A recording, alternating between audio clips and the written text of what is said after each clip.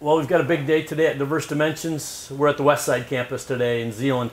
And Mark Jansen today here and Jeff Moss. Um, we've got a boatload of these parts today and the best way to scan these things up is with our 8th axis. We've got a couple of those here on campus and we love that device from Faro. So, but we really can't start that up until we've got that calibrated. So that's what Mark's going to do today. He's going to show us how to do that, how to calibrate that up and get it ready for the measurement session.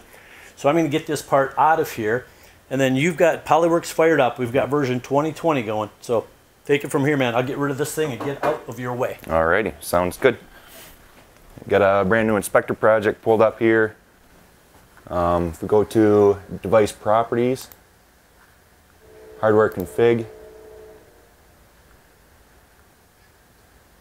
scroll all the way down to the bottom, 8th axis, we'll enable that first.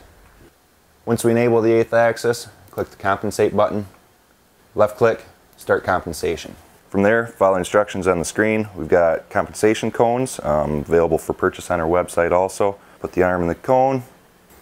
So click and hold the green button. Go in two full revolutions. You can start going either direction. Once you get done with those two full revolutions, it'll tell you wrong direction on the screen. Just go the opposite direction. Two full revolutions.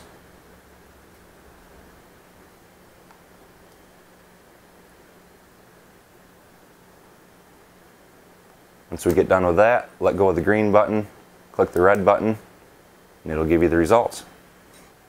Save and exit.